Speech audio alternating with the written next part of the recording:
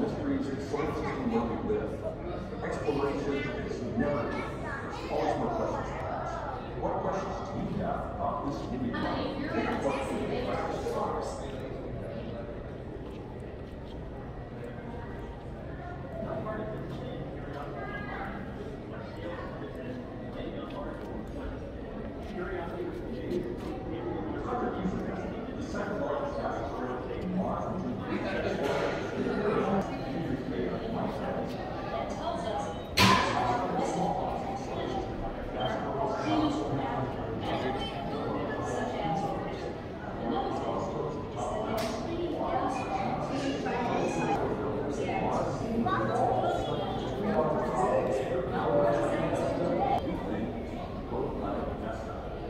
This particular meteorite fell in the Sahara Desert in Africa about a thousand years ago. And we don't have any records of anybody having seen it fall. But today, are uh, genetic people the Desert who have learned that scientists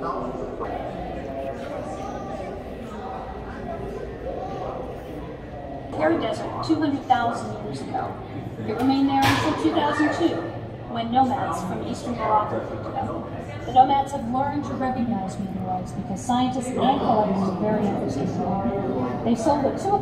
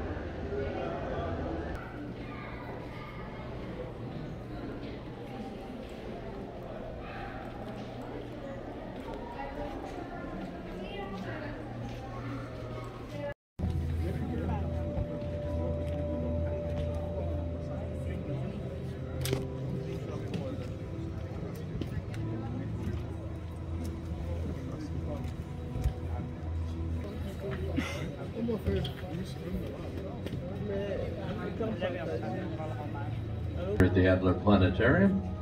Glad you're joining us for Imagine the Moon this hour. We got a great show for you.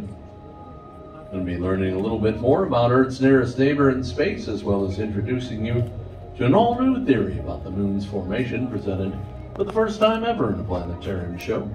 Something we're all very excited about here at the Adler. We hope you enjoyed today's presentation. Meanwhile, while you're getting settled, enjoy a nice uh, holiday motif overhead and enjoy some leaves you don't have to rake.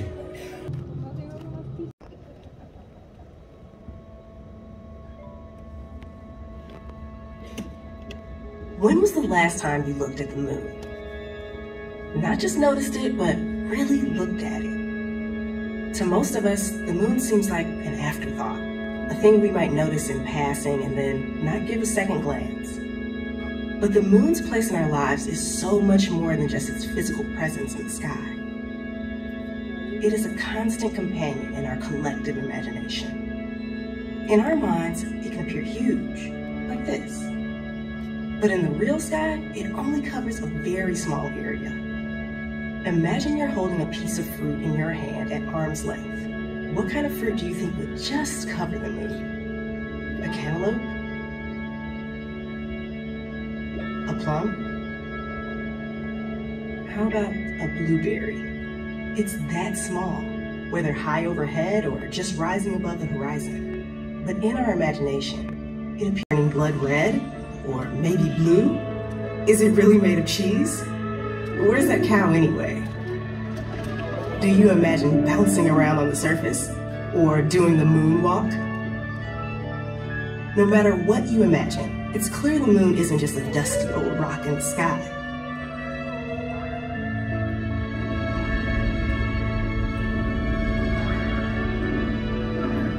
All those songs and nursery rhymes and bedtime stories and myths based on this are more apparent. Our brains try to make patterns out of these regions, and in our imagination, the moon comes alive. You might have heard about the man in the moon, But what about the woman? Polynesians see her as the moon goddess Hina. Many Asian cultures see a rabbit. What do you see?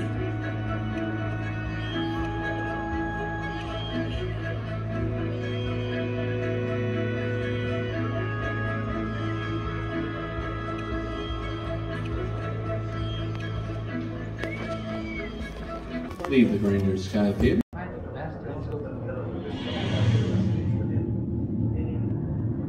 Is Earth special, or are there other planets out there like ours?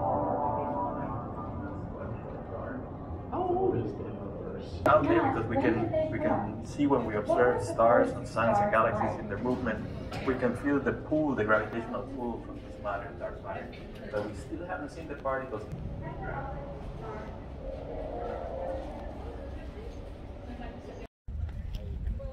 Dropped out of the news after that, that I wanted.